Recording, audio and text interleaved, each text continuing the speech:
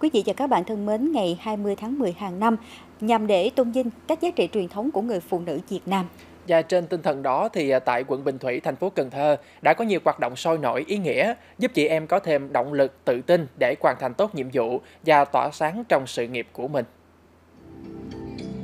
Hội thi duyên dáng áo dài ở Bà Ba Nam Bộ là một trong những hoạt động nổi bật mang đến không khí thật vui tươi và phấn khởi nhân ngày 20 tháng 10 năm nay. Nhằm tôn vinh nét đẹp mộc mạc, giản dị và gần gũi của người phụ nữ Việt Nam, hội thi đã thu hút được sự tham gia của 17 đội với 85 chị em phụ nữ, hội viên Hội Liên hiệp Phụ nữ trên địa bàn quận Bình Thủy.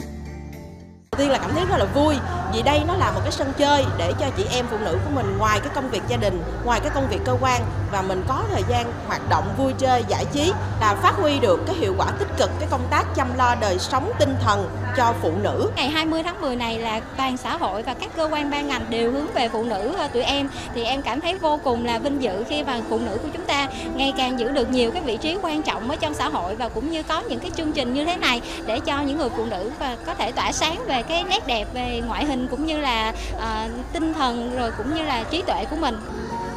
Người phụ nữ được tôn vinh là phái đẹp không chỉ bởi vẻ đẹp rạng rỡ bên ngoài mà còn là vẻ đẹp trí tuệ và tâm hồn. Phụ nữ ngày nay không còn bị áp đặt bởi những khuôn phép, định kiến như trước kia. Trái lại họ độc lập, mạnh mẽ, bản lĩnh và duyên dáng hơn rất nhiều.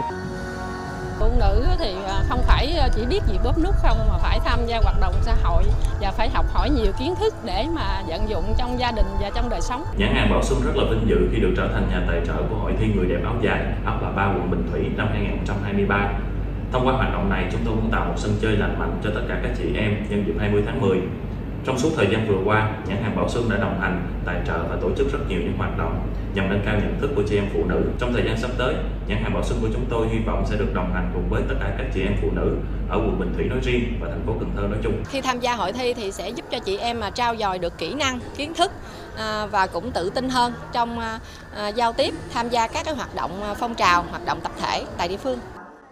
Ngoài hội thi duyên dáng áo dài, áo bà ba Nam Bộ, trước đó trên địa bàn quận Bình Thủy cũng đã diễn ra nhiều hoạt động ý nghĩa dành cho chị em phụ nữ như ra mắt mô hình nuôi heo đất tham gia bảo hiểm y tế tự nguyện của Hội Liên hiệp Phụ nữ phường Long Tuyền hay ra mắt câu lạc bộ yoga của Hội Liên hiệp Phụ nữ phường Long Hòa. Với mong muốn tạo sân chơi lành mạnh để chị em giao lưu học hỏi, rèn luyện sức khỏe, nâng cao tinh thần, thắt chặt tình đoàn kết gắn bó giữa các cơ sở hội đồng thời giúp chị em phụ nữ hiểu sâu sắc hơn về truyền thống dễ dàng và phẩm chất tốt đẹp của người phụ nữ Việt Nam.